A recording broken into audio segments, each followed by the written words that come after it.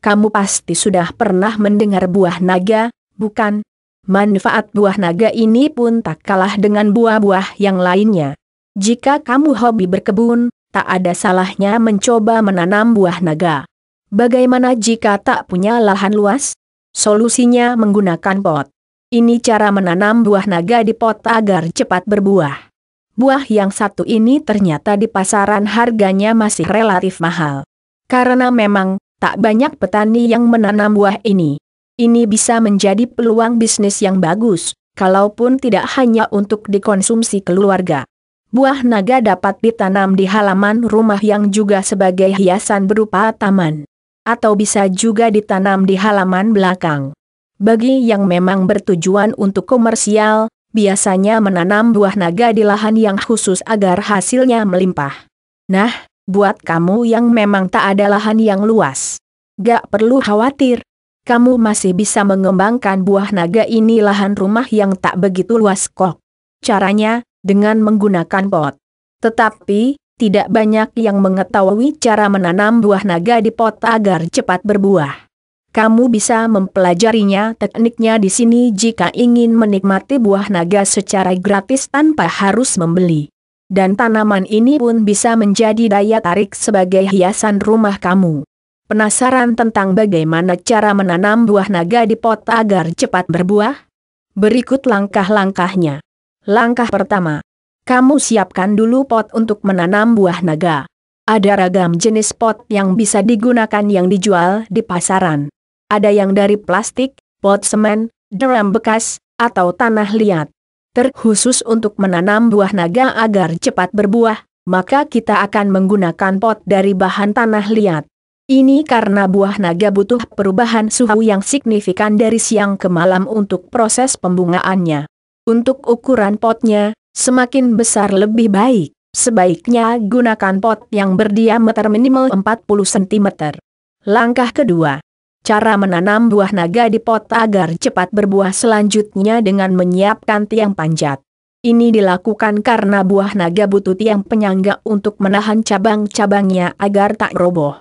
Tiang ini nanti akan dililit oleh beberapa pohon buah naga saat pertama menanam. Carilah besi atau kayu untuk membuat tiang panjatan. Langkah ketiga. Menyiapkan media tanam untuk buah naga. Yaitu dengan menggunakan pupuk kandang, tanah, pasir, dan kompos dengan perbandingannya 3, 1, 2, 1. Jika semua media ini siap, kamu bisa mulai menyiramnya dengan air hingga jenuh. Diamkan selama semalaman sebelum mulai menanam buah naga keesokan harinya. Langkah keempat. Memilih dan menanam bibit. Kamu bisa memilih bibit buah naga dengan batang yang besar dan sudah tua. Selalu pastikan bahwa bibit tersebut bebas penyakit. Oh ya, kamu bisa membeli bibit buah naga ini di pasar khusus jual beli tanaman. Untuk bibit yang ideal, biasanya berukuran 30 cm. Bibit ini ditanam ke dalam pot dengan ke dalam kurang lebih 10 cm. Jika sudah menanam bibit buah naga tersebut, tekan-tekan tanah di sekitar bibit agar tidak roboh. Untuk selanjutnya, siram tanaman ini dengan rutin sehari sekali, dan letakkan pot tanaman buah naga di tempat terbuka agar terkena sinar matahari langsung. Itulah keempat langkah cara menanam buah naga di pot agar cepat berbuah. Ada beberapa tips tambahan agar tumbuh kembang buah naga ini bagus dan menghasilkan buah yang memuaskan.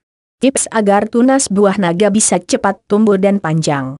Agar tunas buah naga bisa tumbuh lebih cepat, maka dilakukan pemupukan sebaiknya menggunakan pupuk kandang atau pupuk organik. Untuk itu, pupuk dari kotoran ayam bisa jadi pilihan tepat.